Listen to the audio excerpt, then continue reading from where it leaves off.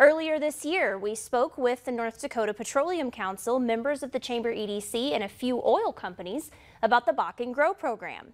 They were excited to announce that Ukrainian immigrants would be joining their team this summer.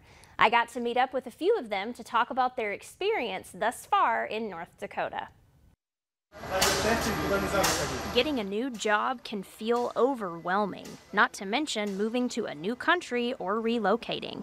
For the new workers at SandPro, the experience so far has been a good one thanks to their team. I think it's a very, very, very good uh, company. It's best of the best company. Some of them said that North Dakota is beautiful and that they like the small town feeling. It's very good for me. It's a new experience for me. Mm, I like. Vice President and co-owner of SandPro said that he's realizing the true potential of this program. Have you guys been to the automation shop yet?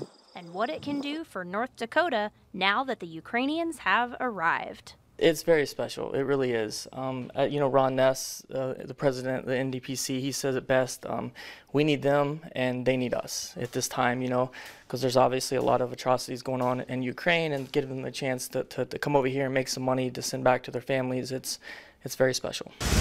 Not moving.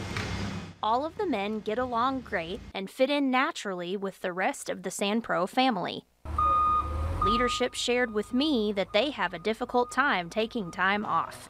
They are hardworking, reliable, and a great fit so far. They are staying in Minot right now until a better housing situation is established, fostering a great professional partnership through mutual need. Blackaby also said that they still need sponsors to help make the Ukrainians' transition more comfortable. They need financial assistance with transportation and lodging costs, among other things. To learn more about becoming a sponsor, contact the Minot Chamber EDC.